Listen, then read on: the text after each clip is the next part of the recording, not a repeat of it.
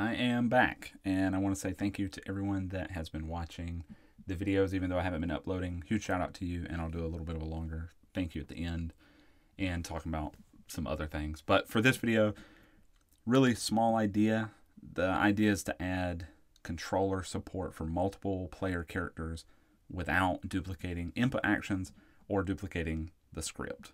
Uh, so I'll show you this player moving uh, the the little plane just flies left and right right now, and that's that's one player, right? So you could have a single player game where you have a single ship. But if I wanted to make this a local multiplayer game where I have two controllers or a keyboard and a controller, however you want to set it up, I need a way to listen to the inputs for the second player without also hearing the inputs for the first player. So what you'll find is that a lot of people will say, "Oh, just go into the the input map and you know define all these actions like fly right, fly left, and define it for each player. But that's super annoying because what if I want to eventually have eight players? You know, what if there's going to be eight ships on the screen? I don't want to define eight sets of actions and then you know come up with another action like oh eventually I want to add a dash to all of the planes. Well now I got to add a dash to all of these separate controllers that's just kind of ridiculous. And maybe I don't fully understand the best way to go about adding these actions. Who knows? But I think I found a better way, and that's just to ignore the actions themselves and kind of go straight into the uh, the Joy-Con buttons, like the actual gamepad button input actions.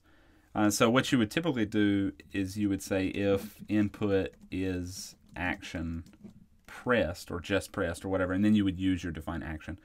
But there's a function that you can use called input is joy button pressed. And what that function lets you do, we can actually look at the documentation real quick. Uh, it actually lets you define the device that you're listening to and the button. And that's exactly what I want. I want to say, okay, I'm listening for this device, this button, because we can do all of that programmatically. We don't need to define any of that. Um, so just looking at the script, this is the player script that I have right now. We'll go kind of top to bottom since I'm skipping around. The first thing that I'm doing is I'm making sure that I will have a way to define what player this is. And you can call that player index or device index. It doesn't really matter because we're going to use it for the device. Um, so index 0 basically saying this is player 1. Uh, input velocity speed, that's just for the movement. This is just kind of a basic movement setup. Uh, I define my own lerp function because who knows? I don't know why I do that, but there it is. And I just use that to, to change rotation. The rest of it's very boilerplate. We just start off with uh, completely zero input velocity. When the player presses either the right or left button, we uh, set a velocity and then we react to that velocity later where we update the position. And then this rotation stuff is just for style so that when the when the ship is moving left and right, it rotates a little bit. Um, but everything that's really happening is happening with these is joy button pressed calls where we're sending that player index for the device and we're also specifying the button that is being pressed. Now there is documentation that you can look at for all of these buttons, but in my opinion it's almost useless because it just says joy button 2 equals 2 gamepad button 2. I don't I, I have no idea what any of that means. So what I recommend and what we're going to do in this video is we're going to add the Y direction. We're going to add up and down to the ship just to show you. Uh, so what I want to do is I want to copy this and just move it down. Uh, and then I'm going to show you how I find out more information about those gamepad buttons. And, and basically what I do is I go back to the input map and I try to add the button that I want. So it's going to be a joy button. And then when you look at this list, it tells you all those button numbers, but it also tells you what they are, which is so much more useful than the documentation. So what I was doing before is left and right, and now what I want to do is go up and down. So 12 and 13. So D-pad up uh, would be 12, D-pad down would be 13. So here we can just focus on the Y. So if Y is plus 1, that's going to be down, which I think was was 13. And then 12 should be up and then we can ignore the rotation stuff when we're going up and down. And then here, I think what we can do is instead uh, do this, input velocity plus equals input velocity times speed. I don't know. We'll try that.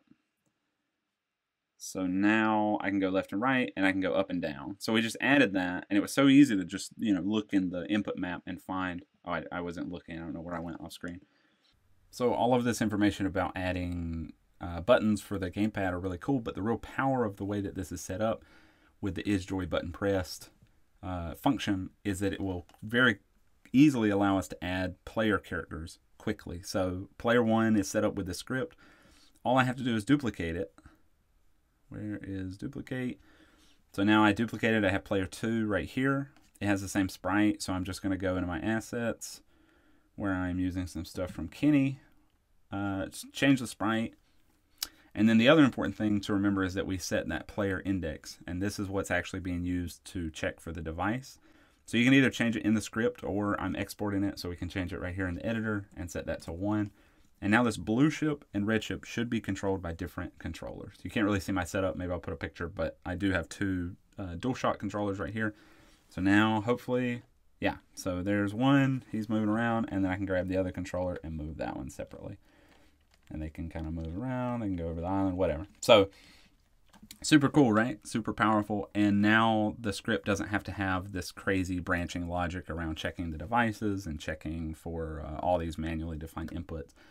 And everything's clean and nice, and I love it. It's it's really well kind of pre-optimized. So hopefully this was helpful. Uh, again, longer thank you at the end. Thank you for watching. Uh, 4,000 plus subscribers.